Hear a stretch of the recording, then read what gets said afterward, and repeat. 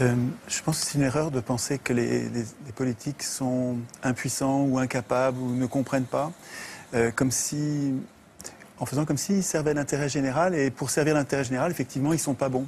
Si on renverse la perspective en comprenant que finalement ces gens-là servent les intérêts de ceux qui les ont fait élire et qui sont les 1% les plus riches de la population, à ce moment-là, ce n'est pas du tout une catastrophe. Vous parlez de catastrophe, mais c'est une réussite euh, formidable. Tout se passe comme prévu. La, sécurité sociale est détricotée, le chômage se porte à merveille, ce qui permet de, de tenailler les salaires et d'avoir des bas salaires, donc des hauts profits. Donc tout se passe bien, en fait, du point de vue des 1% qui se gavent comme jamais les, banques qui devraient être en prison pour faillite frauduleuse, leurs patrons se font mieux payer que jamais et arrivent maintenant au gouvernement des différents pays. Je trouve que la, situation n'est pas du tout catastrophique pour ceux qui financent les campagnes électorales des élus.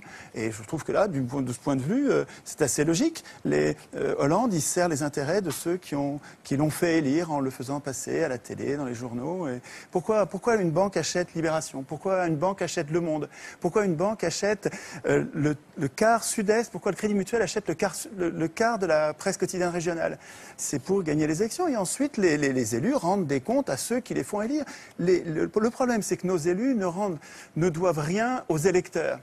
Euh, que vous votiez ou vous votiez pas, ce n'est pas vous, ce sera un autre. Ceux qui vont voter, c'est ceux qui regardent la télévision, qui ne sont pas politisés. Il faut qu'ils passent beaucoup la télévision. Vous regardez les curseurs, c'est incroyable la similitude qu'il y a entre les courbes de passage à la télé et les résultats aux élections.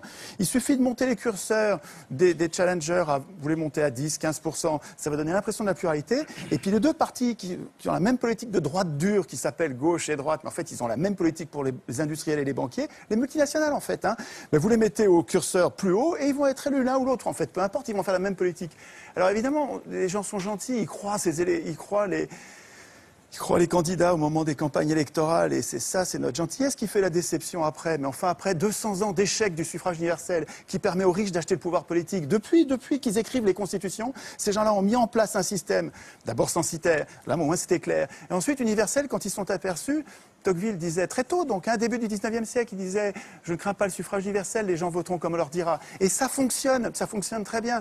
Donc le fait de désigner des maîtres au lieu de voter des lois est une imposture politique. Nous ne sommes pas en démocratie. En démocratie, nous voterions nos lois. Nous-mêmes, un homme, une voix pour voter les lois, pas pour désigner des maîtres. Le fait de nous imposer de désigner des maîtres est une supercherie. Ça donne un résultat plutocratique avec les riches qui dirigent depuis 200 ans. Alors aujourd'hui, on arrive dans une crise parce que le capitalisme n'arrive pas à verser suffisamment de salaire pour vendre leur camelote.